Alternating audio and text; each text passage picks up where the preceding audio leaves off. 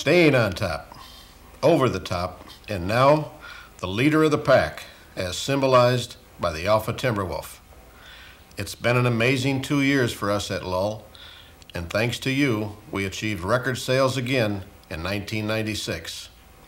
Now, as one of the OmniQuip companies, we gain added strength as part of a material handling conglomerate, poised and ready to dominate the worldwide market. I'm proud to say that throughout this phenomenal growth, we have remained faithful to our promise. One thing never changes Lull quality.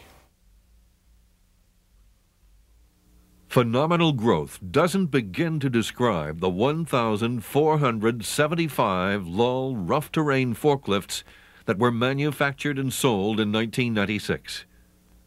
Assisting us in our goal of 2,000 machines by the year 2000 is our new parent company, OmniQuip. Where did the business come from in 1996?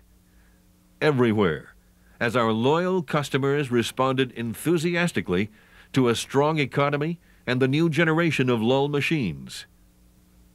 Selling new customers at a record pace began with an educated dealer group that fine-tuned their sales skills at nine factory sales schools.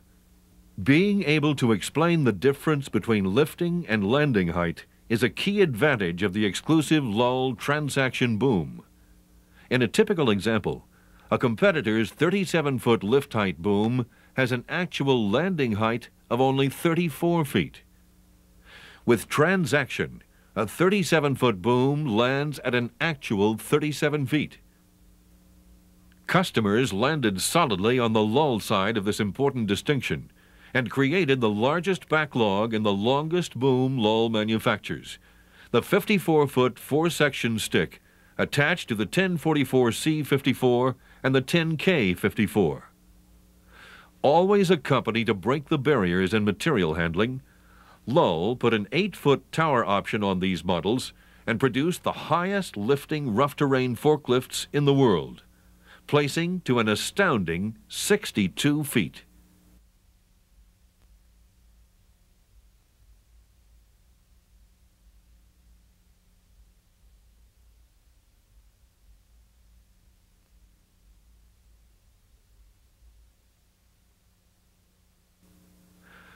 Versatility is the foundation of all Lull models, especially when equipped with attachments that dig, bore holes, sweep, load dirt, and dump. And the advanced engineering that designed this versatility into every lull also considered the operator with easy-to-use joystick controls four-wheel drive, four-wheel steer, power shift transmission, and an interlock system that hydraulically prevents the rear axle from oscillating if the boom is above 40 degrees to stabilize the machine with a four-point instead of a three-point stance. Expect more from Lull's engineering department in the way of new designs that will continue the tradition of performance, reliability, and material handling efficiency. New off the drawing board and headed to a job site near you is the Model 644-34, a 6,000 pound capacity, 34 foot landing height machine that offers several new features. Compact versatility best describes this new unit that tucks the boom between the operator and a side mounted engine for outstanding visibility. The engine location promotes the easy maintenance and service that contractors and rental centers appreciate. And of course, Transaction Boom Performance gives this new model an added dimension of job site performance only Lull can offer. As the market expands for telescoping boom forklifts with general contractors, bridge builders, steel contractors, and other industries purchasing Lull machines, our engineers are pushing the marketing boundaries even farther with machines like this Dynalugger with car picker attachment.